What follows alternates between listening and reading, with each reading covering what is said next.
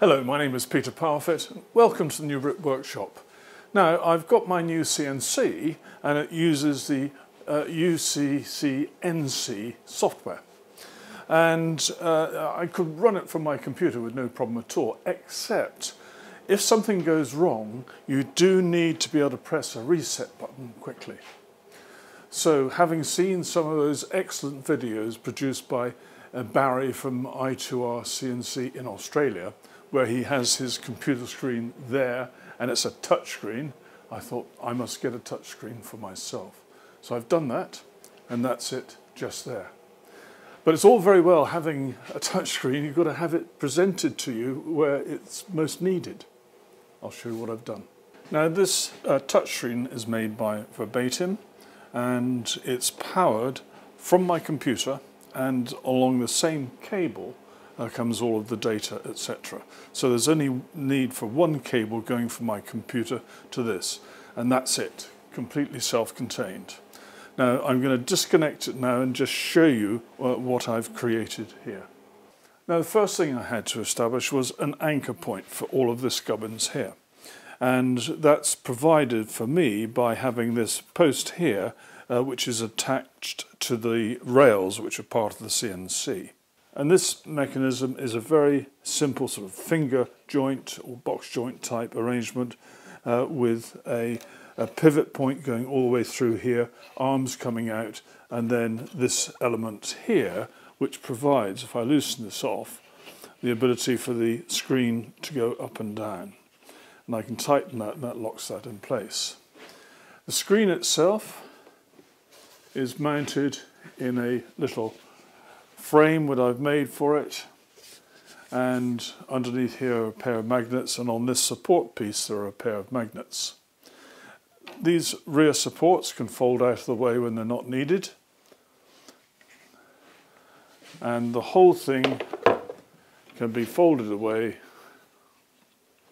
if it's not needed at all. Then I slide this under here and it's completely out of the way. And I would then put this somewhere safe. Now let me show you how I went about the construction. Now you saw what the finished product looks like. Um, I'm now back at the beginning and I've got four pieces of wood that form the frame. One I've already mounted ready to be cut in a CNC and that's the bottom piece. I've got two side pieces and a top piece and all of these pieces are made of oak and the top and the two sides are 14 millimeters thick by 34 millimeters wide uh, and the one that forms the bottom uh, that is 34 millimeters wide and 30 millimeters deep. Well I've cut that bottom channel and the idea is that the screen would sit inside it like that. There'll be side pieces and top piece there. And that fits uh, nice and snugly. I'm pleased with that. I'm going to do the top piece next. Here it is. And I'm going to make sure uh, that it's positioned uh, 10 millimeters from uh, this uh, edge here and 10 millimeters from there. That means then when my cutter goes to the end, uh, it's not going to damage these fences. I've got some pieces which I made earlier and that gives me that 10 millimeters there and that gives me 10 millimeters there and now I can clamp this down in place and then do the cutting.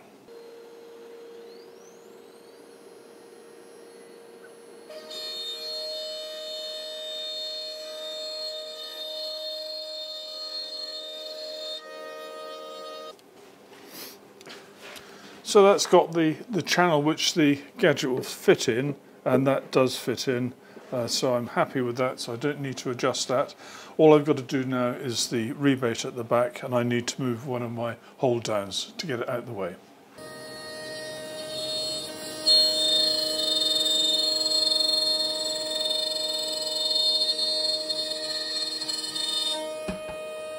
Well, I've just finished uh, cutting out these simple bits. These are the long arms, are three of them all together. Uh, and the only thing I had to remember is that uh, one hole uh, is smaller than the other hole. Uh, I had to go back and redo one, but Anyway, there it is. And the reason there's a, a, larger hole is because at this end we've got this piece of tubing through which uh, the long piece, which allows uh, this to go up and down, will fit. Whereas at, the, at this end, there's a short piece of that thinner tubing. Now I'm using bamboo for this. It just happens I had some left over. It's very strong um, and probably lends itself quite well to this application. So I'm now getting ready to do the short pieces that fit uh, between the, the, long bits. Uh, the top one and the bottom one uh, just have a rebate rather than a hole, but the in-between uh, pair have a hole going through. And I've got a piece of stock which is big enough to take all of them. Uh, my problem is that uh, once I've cut the holes and I then want to cut the pieces out individually, how do I hold those individual pieces in place without them moving? So, what I've done is I started with one of my uh, Vectric files. I use Aspire, but you might have VCarve Pro or whatever it might be. Um, and I've got uh, guidelines that go vertically and horizontally. And at the intersection is where I've drilled these holes and I've got my screw inserts in here. So what I've done is I've uh, produced my drawing, my CAD drawing for this, such that the holes that have got to be in here uh, coincide, uh, their centres coincide with one of these. So if I started by drilling out the holes of all these eight pieces, and it's easy then to hold the stock in place like so. Then I can use uh, a, uh, a, bolt and a washer to hold these in pieces individually in place by screwing down through that hole and into here. And I can then do the cutouts and hopefully uh, the, the bolt going through will hold everything in place. Anyway, enough of that. Let's see if it works. Now I quite like the preview you get with UCCNC when you've loaded the, uh, the toolpath and you can see the, the sort of blue there uh, where the cutouts are going to take place. Well, uh, we'll see.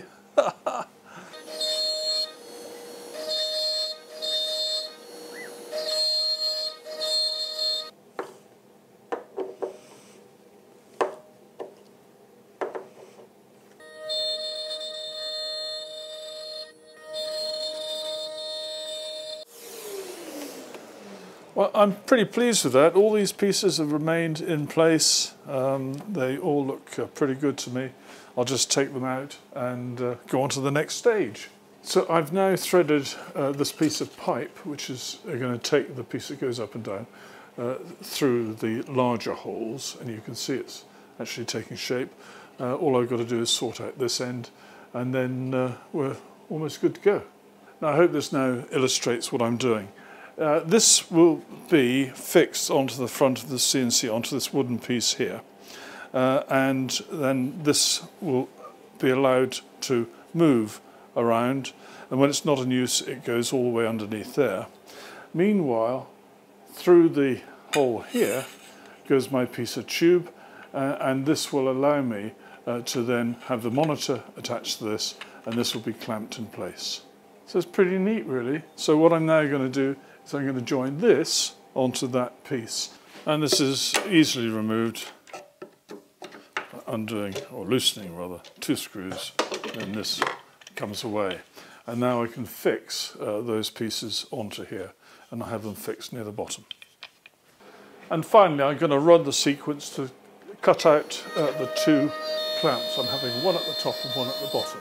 Now I've just cut a uh, a hole. In fact, it's not actually a hole. I, I told it to do a, a, round internal profile. And I'm not worried about the bit in the middle because uh, the tube is going to fit down into here.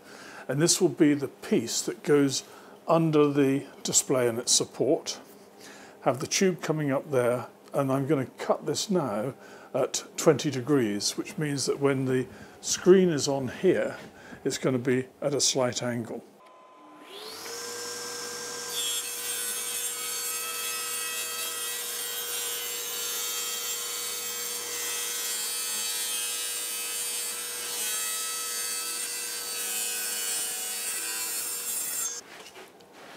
And I, having uh, done that cut and I've popped it on there temporarily, you can now see how it's going to look roughly, something like that. And uh, it will be able to be raised up and down and uh, it'll be fairly secure, I'm sure. I'm certainly impressed with the rigidity of the uh, frame underneath. Yeah, I'm really pleased with that. Now, in order to finish the clamp, uh, what I've done is uh, I drilled a, a 12 millimeter hole all the way through one side and just a tiny bit into the other. And that's because the screw insert, which is going into this bit on uh, my left, your right, uh, needs that little shoulder to go in and it's 12 millimeters across. So 12 millimeter hole all the way through and then just a little bit into there. Then I took an eight and a half millimeter drill because that's the size needed so this, this thread will cut uh, and drilled the rest of the way through here. Then I was able to feed the screw insert from this side in that way, screwed it in, and then I've put a piece of dowel here, which has just been glued in. I'm waiting for it to dry, and then I'll slice it off. And then I'm going to drill a six and a half millimeter hole through there because that's the diameter of the thread, which will be going into the insert, and that will be used to tighten it up. Okay, so I'm going to have it this way up. And I'll go like so. It'll be fixed there on this side, and then I can clamp that nicely in place. And I've just done a very uh, simple uh, little bit of profile work. Uh, these are two uh, supports that will be at the rear uh, of the uh, gadget holding the touchscreen to stop it falling backwards on the stand.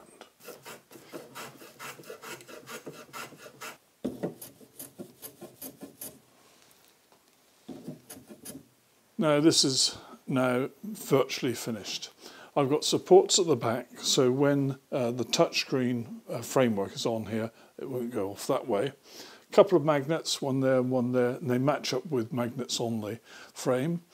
And because one could still push it out that way, to stop it uh, doing that sort of twisting motion, I've put a little stop here and at this end. And that then should be more than enough to secure it. And I've now anchored the, the pole here uh, with a couple of self-tappers that go through uh, through uh, the wood and into here. Now, uh, to make it just a little bit more secure, I cut a couple of uh, roughly round pieces of wood and shoved them in the ends to very, very tight. And that gives those self-tappers a bit of extra uh, anti-wiggle, if you see what I mean. Well, I hope this video has been useful. Um, I will produce some sketches uh, for this, some sketch plans, but they're not in any great detail because it will all depend on the size of your screen, how it's constructed and how uh, it needs to fit to your CNC. Many thanks for watching.